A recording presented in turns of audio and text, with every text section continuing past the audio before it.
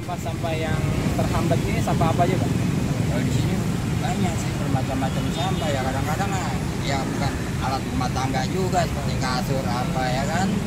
Jadi styrofoam dan banyak juga. Eh, mengangkut sampahnya Pak? Nah, itu kalau pagi pakainya alat besar, bawa nanti langsung ke mobil, dari mobil penuh buang ke perintis, ya perintis.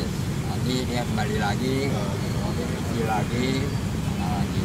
Bisa sampai berapa mobil tuh Pak? Ya kalau lagi kredit banyak ya kira-kira bisa 20 bisa 15 tapi kalau sekarang sekarang ini sih karena hujannya juga nggak begitu banyak artinya dari daerah jangan sampah cukup ini lah kondusif lah istilahnya palingnya sekitar 2, 3 sampai 5 lah banyak